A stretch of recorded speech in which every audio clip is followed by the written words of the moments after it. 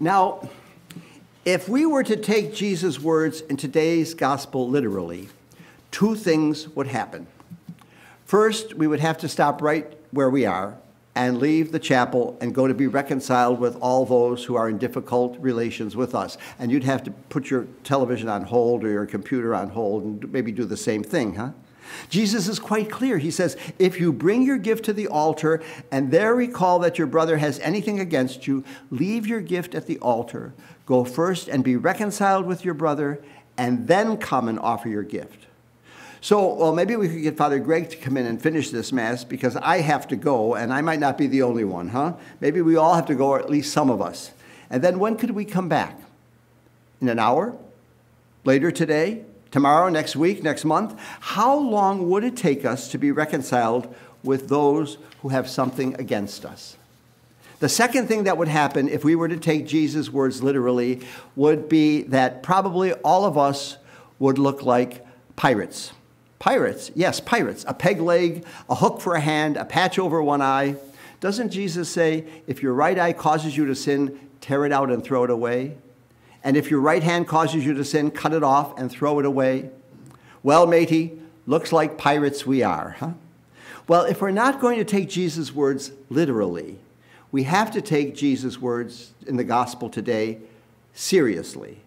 His words are an alarm used to waken our faith insisting that we pay attention to things so familiar to us that we might dismiss or brush them aside if we even notice them.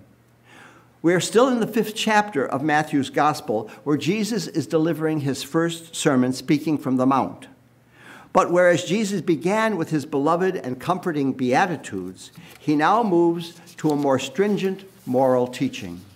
His beautiful blessings give way to a series of sharp antitheses, contrasts that are framed as, You have heard it was said of old, but I say to you. With these words, Jesus sets up four case studies murder, lust, divorce, and integrity of speech. In each case, Jesus contrasts an earlier way with his new way. He intensifies the meaning of the Torah's command, increasing its demand and its expectation. Jesus is presented by Matthew as a kind of new Moses. Just as Moses had to go up the mountain to receive the commandments from God, so Jesus ascends a mountain to give the new commandments. But in fact, the commandments he gives are not new, but rather a transformation of the Mosaic law, not abolishing it, but rather intensifying it. Again and again, Jesus repeats some stricture from the Mosaic law, which was already difficult to fulfill, and he makes it even more demanding.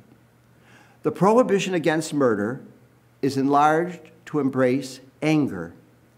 The prohibition against adultery is extended to include lust. The prohibition against divorce warns of the probability of adultery. And the prohibition against swearing false oath is applied to all forms of speaking, calling for integrity in everything that is said. In this teaching, we move from the external action to the interior motive, from how someone acts to a consideration of their inner dispositions. Jesus gives us not a new list of rules, but the true intent of the law. He did not come to abolish the Torah, but to fulfill it. Not only behaviors, but also attitudes and inclinations become important ethical concerns. Anger left unchecked has de facto murder as its outcome, and lust is as unholy and dehumanizing as adultery.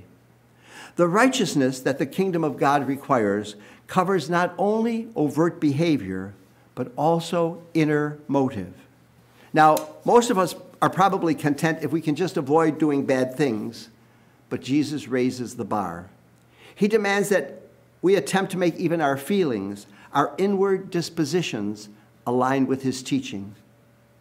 Again, the wonderful scripture commentator, Sister Barbara Reid, puts it so poetically in words we can all relate to. She writes, It begins with the tiniest gesture, an interested glance, the brush of a hand, Lifelong love builds from a little expressions of care before it becomes total self surrender to the beloved. At the opposite end of the spectrum, egregious acts of murder, betrayal, rejection, and deception begin with little sparks of anger, white lies, lustful looks. In today's gospel, Jesus instructs us to watch out for the little things that undermine both our relationships and our integrity. He alerts his followers that little slights left unchecked can lead to major offenses with dire consequences. Small steps, baby steps that slowly but with increasing momentum carry us towards or away from life. In our first reading today, taken from the wisdom tradition of the Holy Scriptures, of the Hebrew Scriptures, we heard that God sets forth for Israel a way of life, but God allows Israel to choose to follow this way or not. It said, If you choose, you can keep the commandments that God has set before you fire and water, to whichever you choose, stretch forth your hand. Before man are life and death, good and evil. Whichever he chooses will be given to him. In the same way, Jesus teaches us today that the choices each of us makes in life, even the seemingly minor ones, can bring us closer to the kingdom or turn us on a path that takes us further and further away. It's a matter of choice. Choose life.